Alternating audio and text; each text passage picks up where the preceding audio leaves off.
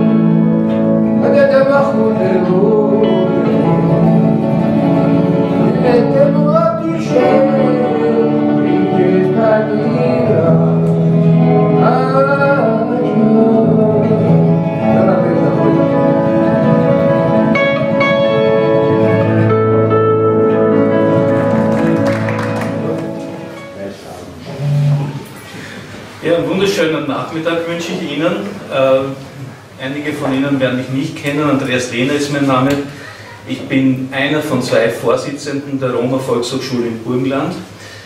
Und äh, in dieser Funktion möchte ich Sie sehr herzlich begrüßen und gleich ein Geständnis ablegen. Wir haben, als wir diese Veranstaltung geplant hatten, haben wir das Datum schon gewusst, 1. April. Aber wir haben übersehen, dass heute Ostersonntag ist.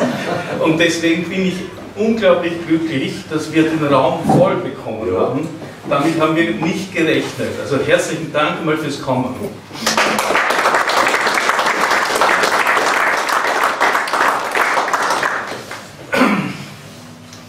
Geplant hatten wir das einmal, erst einmal als eine Ausstellung mit Bildern von der Chaya Stoiker.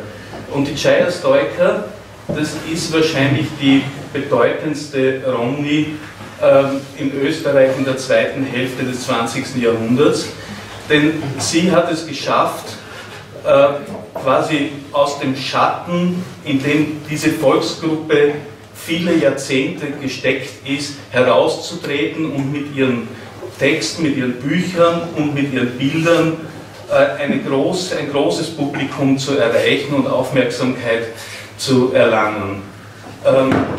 Jaya Stoiker ist eine Holocaust-Überlebende oder war eine Holocaust-Überlebende und hat das Thema der Verfolgung und Vernichtung der Roma, auch der burgenländischen Roma, äh, im Zweiten Weltkrieg in ihren Bildern und in ihren Texten äh, thematisiert, aber nicht nur. Also Sie werden bei den Bildern, wenn Sie dann in Ruhe das durchsehen, auch merken, es gibt diese, diese Zeichnungen, diese Malereien, die sich sehr stark und sehr eindrucksvoll dem Thema der Konzentrationslager in erster Linie widmen, aber es gibt auch andere Bilder, sehr kraftvolle Bilder, die von Lebenskraft und Lebensfreude sprechen und Zeugnis geben. Und das war der Ausgangspunkt für diese, für diese Veranstaltung heute. Und Shia's äh, Sohn, der Heuler Stoiker, sitzt da drüben und fotografiert mich. Warum, weiß ich nicht. Aber ich möchte es erklären. Und die Gruppe Amanza Ketane. Ja, genau. Äh, sehr herzlich begrüßen möchte ich auch die Nuna Stoiker, wenn du kurz aufstehst und die zeigst. Wird dann in der Folge aus den Büchern von Shire Stoiker ein paar Sequenzen vorlesen. Äh, Hausherr ist Walter Demel, der Bürgermeister von Bildein. Der, den glaube ich, braucht man nicht vorstellen hier. Hoffe ich zumindest. Sehr herzlich begrüßen möchte ich auch als äh, Vertreterin der anderen Roma-Organisationen die Manuela Horvath. Sie leitet die, das Roma-Pastoral, äh, das ist angesiedelt in Oberwart.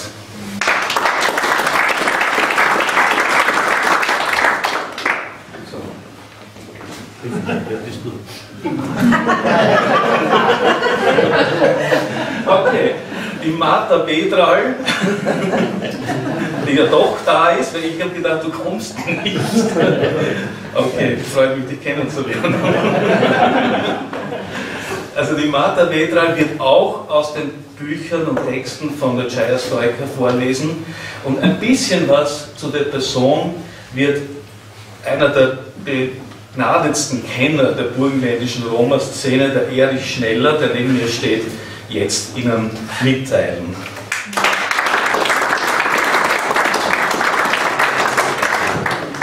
Danke für die Blumen. Wir werden vielleicht das Portär setzen, weil ich mir das ja vorbereitet habe und mich an meinen Text halten möchte. Bevor ich mit der Künstlerin zuwende, möchte noch ein bisschen was sagen zur Musik und zum Heuder. Der Heuder im Amenza Gitarre sind an sich eine Schöpfung der 90er Jahre. Gitarre spielt er schon immer von klein auf, aber irgendwann in den 90ern hat er dann begonnen, sich ganz bewusst und gezielt mit den Liedern der Novara zu beschäftigen, sie neu zu arrangieren und, auch neue zu machen und das immer wieder zu präsentieren. Amenza Gitane heißt so viel wie wir gemeinsam oder so miteinander. Ich weiß nicht, ob das jemand weiß, in Linz hat es einen Verein gegeben, der sich vor ein paar Jahren aufgelöst hat, aber der sehr wichtige Arbeit für die Sinti gemacht hat und dieser Verein ist Ketani oder Ketani, ich weiß nicht, wie man es genau betont, ähm, miteinander. Ähm, dieses Miteinander und gemeinsam für die Familie Stoiker große Bedeutung. Die haben man, ich weiß nicht, einige von Ihnen werden das auch wissen, immer im Herbst im Amerlinghaus in Wien ein, ein Fest gefeiert, gab es ein Roma-Fest, in, in, dessen Mittelpunkt die Familie Stoiker war. Die Chaya, diese Gruppe, da hat die Chaya auch ihre Bilder gezeigt, da wurde getanzt und gesungen. Also wo die Chaya war, da wurde immer getanzt und gesungen, das war irgendwie ganz normal. Die Musik der Novara hat inzwischen auch Weltkulturerbe-Status ähm, gehört zum immateriellen Weltkulturerbe, kommt aus einem Raum und wurde geprägt im Raum Westungarn, Burgenland, Wien natürlich bis hinauf nach Südmähren, wo eben die Lovara zu Hause war, diese Gruppe, diese Roma-Gruppe. Ähm, ja, zur Musik und zu den Liedern kann man später noch was sagen. Ich möchte jetzt zur Chaya Stoiker kommen. Es ist genau 30 Jahre her, dass dieses Buch herausgekommen ist. Andreas hat schon angesprochen. Aus dem wird heute Martha Vedral lesen, so wie sie es damals getan hat im Spätherbst 1988 in Oberwart, als das Buch frisch auf dem Markt war und im Beisein der Autorin. Ich habe in meinem Buch noch die Originaleinladung von damals gefunden, so hat sie ausgesehen. Das war am 8. Dezember 1988 und Veranstalter war nicht ein Roma-Verein, sondern Veranstalter war das unabhängige antifaschistische Personenkomitee Burgenland. Hört sich ein kompliziert an, aber damals war es eine Zeit, wo der Burger hat für die Bundespräsidentschaft kandidiert und, und rechtsextreme Umtriebe hat es halt gegeben in diesem Land, wie jetzt auch wieder oder noch immer oder wie immer man das sagen soll. Und deshalb haben wir dann im Burgenland auch so ein Personenkomitee gegründet. In allen anderen Bundesländern gab es das schon und das hatte keine andere Bedeutung als einfach äh, Aufklärungsarbeit zu leisten in Sachen Holocaust und, ähm, und Leute um uns zu scharen, die halt das irgendwie mitgetragen haben. Ja, und diese 150 Seiten sind es. Wir leben im Verborgenen. Erinnerungen einer Rom-Zigeunerin, die waren eine Sensation. Dieses Buch hat damals eingeschlagen, kann man sagen.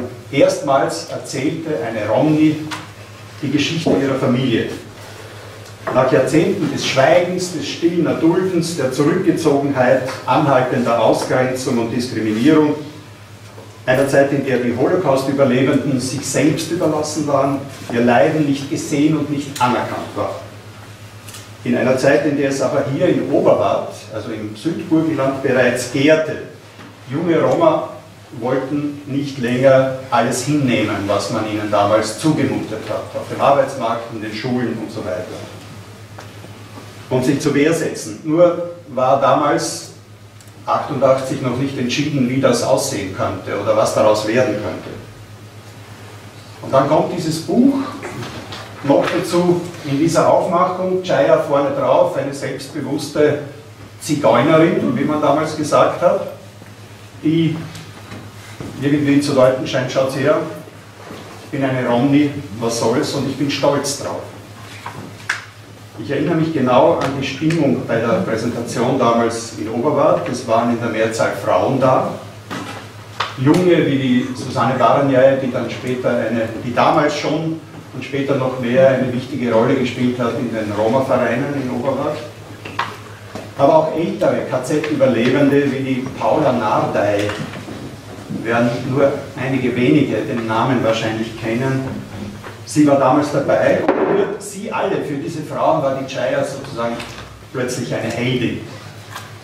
In einer Zeit, als die Roma-Männer noch gezögert haben, noch zauderten und damit beschäftigt waren, abzuwägen, wie weit man sich hinauslehnen, hinauswagen sollte, ist ihnen Chaya zuvorgekommen. Und ich weiß, dass damals viele auch Frauen Zweifel hatten, ob das richtig sei, sozusagen hereinschauen zu lassen in das Familienleben, in die Familiengeschichten. Ein paar Jahre später war das dann ganz anders. Als es Vereine gab, 1993 die Anerkennung als Volksgruppe erfolgt war, da hat dann niemand mehr Chayas Verdienste auf dem Weg bezweifelt oder bestritten. Die Volksgruppenpolitik, die Vereinsmeierei hat sie dann anderen überlassen, den Männern, meistens waren es Männer. Sie blieb die weise Frau, die sie war, und sie ging ihren ganz persönlichen künstlerischen Weg weiter, hat Vergangenheitsbewältigung mit Malen und Schreiben betrieben und wurde zu einer der wichtigsten Holocaust-Zeitzeuginnen überhaupt. Nur ein Detail, sie war elf Jahre alt, als sie in Bergen-Belsen befreit wurden, 1945 im April. Den britischen Soldaten bot sich damals ein Bild des Grauens. Etwa 60.000 Überlebende befanden sich auf diesem Gelände und an die 35.000 unbegrabene Tote. Es gibt auch andere Schilderungen von Romnia, die dorthin, oder Romnis, die, Roma, die dorthin verlegt wurden und ankamen und die wenn sie in der Nacht ankamen, die Haufen, die da waren, für Holzhaufen gehalten haben, aber das waren menschliche Leichen. Viele Soldaten waren so geschockt, dass sie diese Bilder nie mehr aus dem Kopf bekamen. Und Chaya schreibt in einem ihrer Bücher, Bergen-Belsen, mein Gott, dort herauszukommen war ein Glück. Manchmal, wenn ich in der Früh aufstehe, denke ich, Chaya, bist du im Himmel oder träumst du? träumst du, dass du auf der Erde bist. Von Bergen-Belsen kannst du nicht herausgekommen sein, das gibt es nicht. Nun, sie hat, solange sie gesundheitlich dazu in der Lage war, mit Schülern gearbeitet in Wien. Sie wurde sowas wie die weibliche Speerspitze der Bewegung gegen Rassismus und Romafeindlichkeit im Österreich der 1990er und der anfänglichen 2000er Jahre. Sie wurde international geschätzt und eingeladen zu Veranstaltungen von den USA bis Japan, zu Ausstellungen, etwas, das bis heute anhält übrigens. Derzeit hängen Bilder von ihr Ähm, nicht nur in Britannia, sondern auch in Paris. Seit Ende Februar zeigt die Stiftung Maison Rouge eine Auswahl ihrer Werke mitten in der französischen Hauptstadt in der Nähe der Oper Bastille. Ich könnte diese Lobrede jetzt noch lange fortsetzen. Chaya Stoiker hat zahlreiche Auszeichnungen erhalten, wurde mit dem Titel Professorin geadelt. Mir scheint aber wichtig darauf hinzuweisen, dass diese beeindruckende Frau sich von all dem nicht verbiegen hat lassen. Sie ist nahbar geblieben, jedenfalls für Leute, die ihr ebenso offen und herzlich entgegentraten, wie sie es immer tat, jedem Mann und jeder Frau gegenüber. Als ich am Dienstag dieser Woche in der Wiener Innenstadt unterwegs war, bin ich zufällig an der Ruprechtskirche vorbeigekommen das ist die älteste Kirche von Wien. Man geht so vom Franz-Josefs-Quai Stufen hinauf, links ist die Kirche und dann weiter in die Jugendgasse. Und da ist mir eingefallen, dass ich einmal zu Beginn der 90er Jahre mit der Chaya dort äh, war. Ähm, sie hat, es war so eine Art Andacht und sie hat dort äh, Gedichte von ihr gelesen, Fürbitten gelesen und auch gesungen und die Leute hingen ihr an den Lippen, wie immer, wenn sie irgendwo das Wort ergriff. Einfach ein Ergebnis ihrer Ausstrahlung, ihrer Botschaften, die stets einfach, aber um Verständnis bemüht und authentisch daherkamen. Sie war schon zu Lebzeiten eine Legende. Fünf Jahre nach ihrem Tod klingt ihr Name wie ein Manifest, Chaya Stoika, ein Manifest der Menschlichkeit und der Menschenwürde. So, und jetzt darf ich meine ehemalige Kollegin Martha Wedral bitten, Ihnen dieses 30 Jahre alte Buch näher zu bringen. Zur Martha vielleicht ganz kurz. Ähm, sie war bis vor etlichen Jahren Sprecherin, Moderatorin, ähm, Redakteurin beim ORF Burgenland und hat dann irgendwann entschieden, es ist genug, hat sich selbstständig gemacht und ist, glaube ich, bis heute als Sprechtechnik-Trainerin, Ausbilderin in ganz Österreich unterwegs und äh, jetzt freue ich mich, nach 30 Jahren Sie wieder mit diesen Texten zu hören.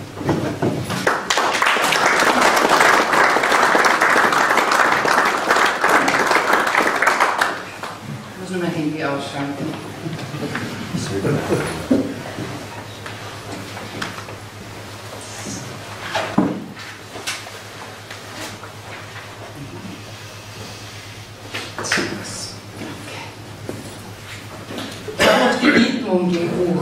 Chaya-Stoiker von diesem ersten Mal. Und sie war dann auch einmal in Mahlzeit Burgenland, in dieser Mittagssendung bei mir. Und da hat sie mir einen Zweig hineingemalt in das Gästebuch. Der Zweig, der ihr, wie sie einmal gesagt hat, quasi das Leben gerettet hat in Bernbensen. Und äh, diese Gästen haben mich immer verbunden mit ihr. Also ich war ja, so, als wäre ich eine stille Freundin gewesen innerlich immer bei ihr und mit ihr.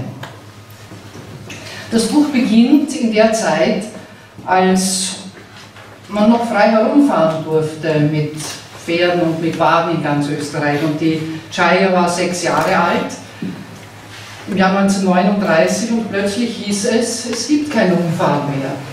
Die Familie kam dann in Wien bei Bekannten unter, dort konnte sie auch den Wagen einstellen, aber es durfte kein Wagen zu sehen sein, mussten Bretter um diesen Wagen schlagen. Also es war dann eine Holzhütte, in der die Kinder noch recht glücklich gelebt haben mit ihren Eltern, weil die durften in die Schule gehen, sie konnten das Schwimmbad benutzen. Es hat ihnen an nichts gefehlt.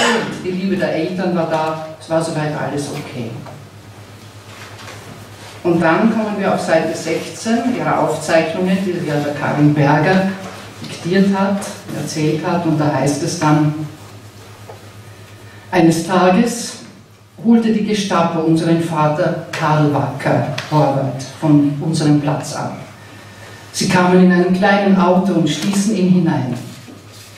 Wir Kinder standen da mit Tränen um unseren Vater.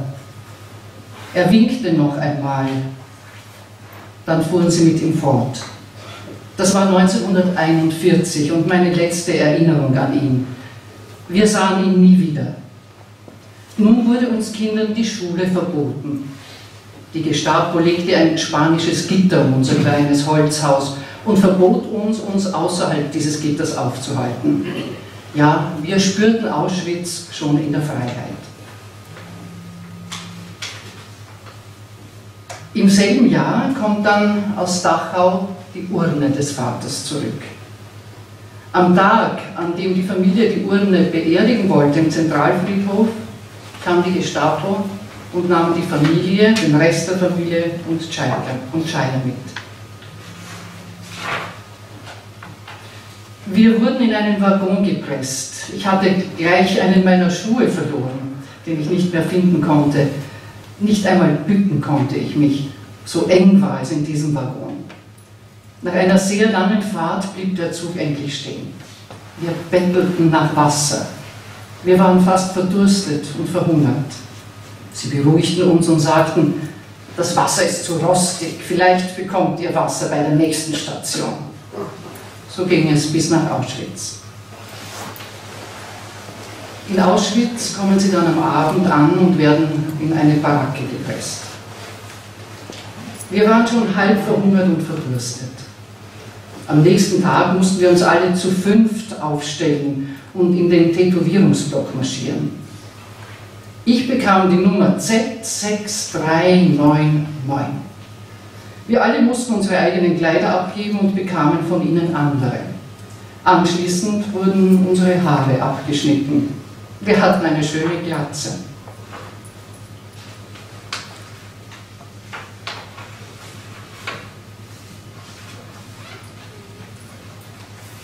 Es war hart in Auschwitz. Die Erwachsenen mussten im Steinbruch arbeiten, die Kinder mussten Gras ziehen mit den Händen tragen. Der kleine Bruder von Chaya war zu schwach dazu. Und die Chaya hat dann auch seine Ziegel, also Rasenziegel mit viel Erde getragen. Sie sahen Totes, sie sahen Menschen sterben. Und dann erzählt sie weiter, es war ein Tag wie jeder andere. Und doch war im Lager eine gewisse Unruhe. Wir wussten, dass irgendetwas in der Luft liegt. Die SS-Männer mit Maschinengewehren kamen um 3 Uhr früh und brüllten, wir sollten alle harten Gegenstände abgeben, auch Schuhe und Bänder und das Essgeschirr. Es war ganz fürchterlich. Die Kinder schrien und auch die Kranken. Wir hatten alle große Angst. Wir mussten uns in Fünferreihen vor der Baracke aufstellen, bis wir vollzählig waren und mussten warten. Unsere Mama sagte zu uns, jetzt ist es soweit. Ihr müsst mir alle die Hand geben und euch an meinem Rock festhalten. Sie sah uns mit ihren hellblauen Augen an, in denen Tränen standen. Und dann ging es los. Wir marschierten zum Krematorium. Der Boden unter unseren Füßen war sehr heiß und schwarz. Menschenstaub. Die Drecklacken auf der linken Seite stanken mehr als die Toten in unserer Baracke. Nun standen wir alle da und warteten. Doch es sollte anders kommen. Am späten Nachmittag sagten die vielen SS-Männer, wir sollten alle wieder in unsere Baracken zurück. Bis heute weiß ich nicht ganz genau warum. Es hieß, Zigeuner sollten nicht vergast werden.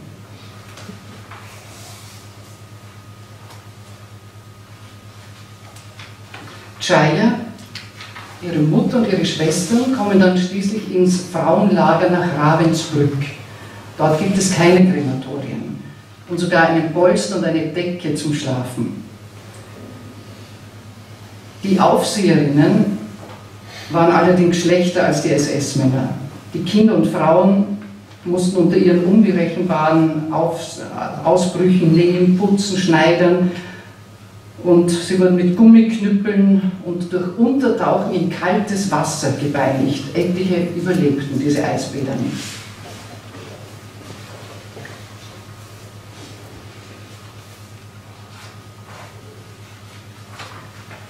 Die SS-Frauen waren eines Tages ganz nervös. Sie schrien, alles antreten zum Appell.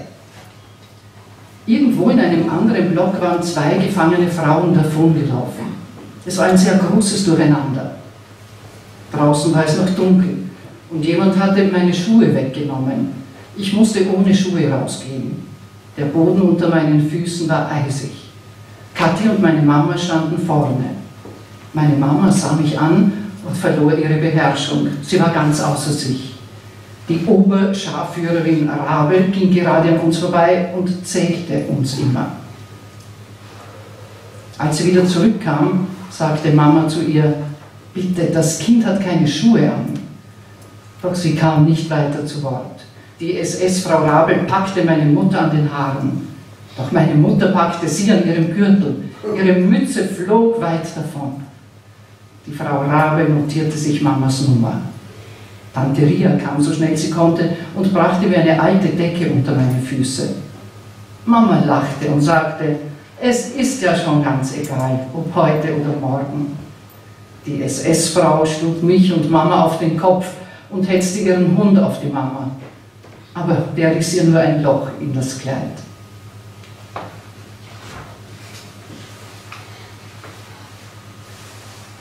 Chaya gelingt es mit ihrer Mutter und mit einigen Geschwistern, weil Arbeitskräfte gesucht wurden, nach Bergen-Belsen zu kommen.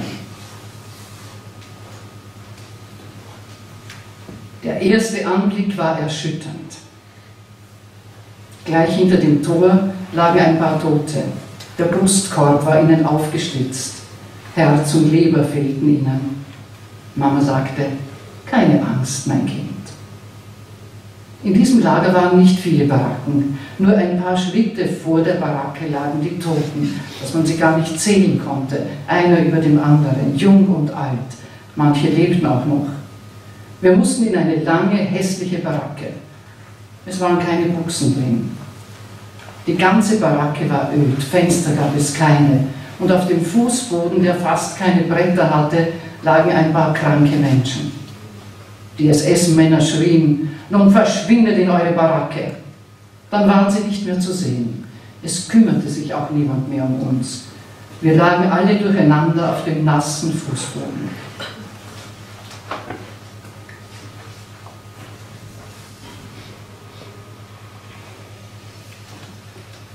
Vor unserer Baracke stand ein einziger Laubbaum. Ich kann mir nicht vorstellen, wie der dorthin gekommen war. Er hatte schöne, dicke, hellgrüne Blätter. Er war nicht sehr hoch, man konnte die Blätter angreifen. Sie hatten einen süßlichen Geschmack und waren saftig dick. Jeden Tag holten wir ein paar und verspeisten sie. Sie waren einfach köstlich. Ich sagte zu meiner Mama, das sind unsere Lebensspender. Unsere Kleider bekamen immer größere Löcher. Meine Mama war sehr erfinderisch. Sie holte aus unserer Baracke einen langen, rostigen Nagel. Dann riss sie von ihrem Kleid ein ganz dünnes Band und nähte mit dem Nagel unsere Kleider.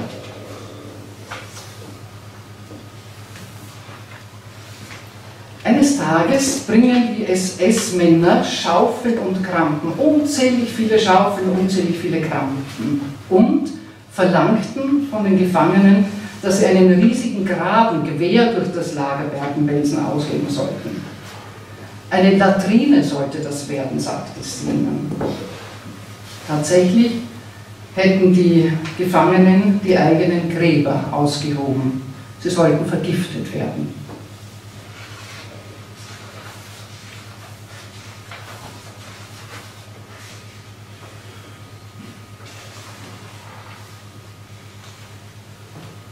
Ganz plötzlich gab es einen großen Krach und ein Ungeheuer von einem Panzer durchbrach das Lagergitter. Der Panzer rollte bis zu mir. Einen Meter neben mir blieb er stehen. Ich zitterte am ganzen Körper.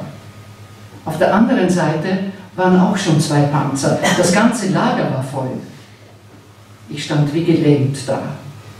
Aus dem Panzer sprangen viele, sehr viele Soldaten. Einer kam zu mir und sagte, ich bin Engländer, ihr seid jetzt alle frei. Von wo bist du? Ich sagte, ich bin von Austria, meinte aber die Papierfabrik im 16. Bezirk in der Balitzgasse, die Austria hieß. Ich kannte ja sonst nichts.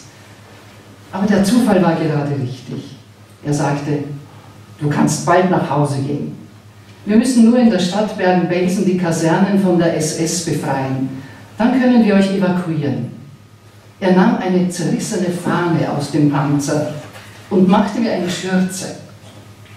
Dann gab er mir Brot, viele Konserven, Käse und Zigaretten. Das war die Befreiung. Dann kam die Chaya nach Wien mit ihrer Mutter und sie konnten in einer Nazi-Wohnung, in einer ehemaligen, in einer großen Wohnung mit Klavier leben, vier Monate lang. Dann gab es noch eine andere Wohnung, dann wurde entnazifiziert und dann hieß es zurück in den Wohnwagen. Und dann fing das Leben von neuem an. Aus der Zeit danach möchte ich Ihnen nur noch einen ganz, ganz kurzen Ausschnitt vorlesen. Äh, Im Interview, das die Karin Berger, die ja dieses Buch getippt, geschrieben hat, mit der Chaya führte, hieß eine Frage, träumst du noch öfter vom KZ? Und die Chaya sagt, ich träume immer davon. Vom Stacheldraht, vom Gestöhne und vom Schreien der Menschen, Albträume. Manches Mal, wenn ich in der Früh die Augen aufmache, mein Gott, schon wieder habe ich den Geruch in der Nase von den Verbrennungen. Ich habe es ja echt erlebt und mit großer Angst, jeden Tag. Jeder Tag dort drinnen war ein Jahr. Jede Stunde war eine Ewigkeit. Oft haben wir uns gefragt, wo sind die Menschen rundherum? Gibt es Österreich nicht mehr? Sind nur mehr wir da und alles andere existiert nicht mehr?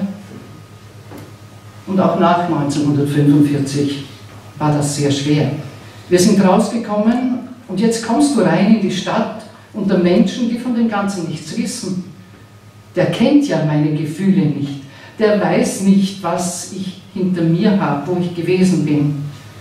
Und trotzdem musst du dich auf die Füße stellen, sonst verkommst du. Du musst ja leben.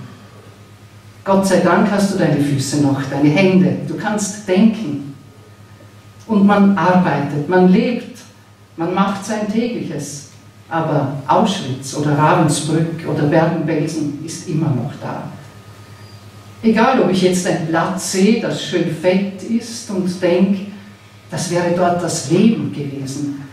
Oder ob ich einen wunderschönen, herrlich gewachsenen Löwenzahn sehe. Ich muss immer dran denken, immer. Und dann denke ich mir, hoffentlich kommt so etwas nie mehr.